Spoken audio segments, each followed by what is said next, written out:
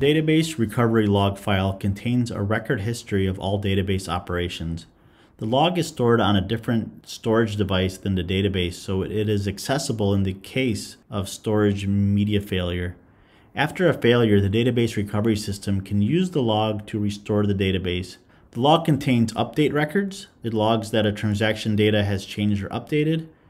It also tracks compensation records or undo records, which logs that data has rolled back and it also logs transaction records, which logs the start, commit, and rollback of a transaction. And it also logs checkpoint records, which logs when all data is saved from main memory to storage media. And there's also a few database failure types. Database recovery supports atomic transactions by making sure that partial transactions are not saved, and also supports durable transactions by making sure that completed and committed transactions are not lost if the hardware or database fail. The three failure types are listed here. There's transaction failure, which the data rolls back to the original value if there are logical errors, deadlocks, hardware failures, or even if the database just runs out of disk space. And if there's a transaction failure, the database concurrency system tells the recovery system to roll back the transaction. The recovery system does a rollback by reading the recovery log file starting from the end of the file as it contains the latest records.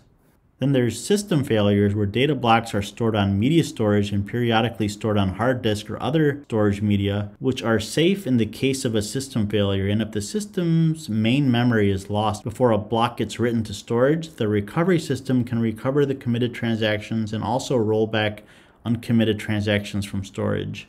Recovery from a system failure has two phases. There's the redo phase, which restores transactions that were committed or rolled back since the last checkpoint, or the undo phase, which reads the recovery log in reverse and figures out how to undo any issues and recover the database. And finally, there's storage media failures that could happen. And this is when your database connection is lost or your database just gets corrupted.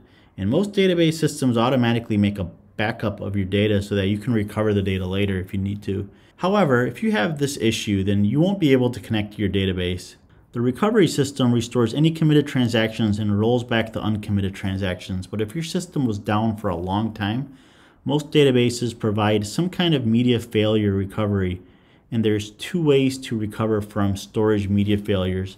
There's the cold backup, which creates checkpoints and database backups at periodic times, such as when there's low database activity. Like 2 a.m. in the morning when most people are not using the computer. And then there's a hot backup, which keeps a secondary database that's in sync with the primary one. And if the primary one fails, then the secondary one gets switched over to become the new primary.